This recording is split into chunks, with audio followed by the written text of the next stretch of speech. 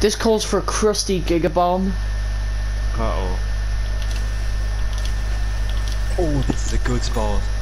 Way outhouse cop. Sniping a dark flower. The literal shitstorm. What I usually do is I just eject my mech on the point and then chuck a gravity grenade at it. Yeah, I like doing that.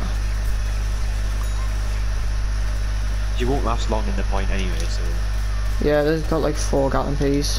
like a mech is a massive target. That was a pretty good, like moderate set of kills. I'm getting some pretty good kills.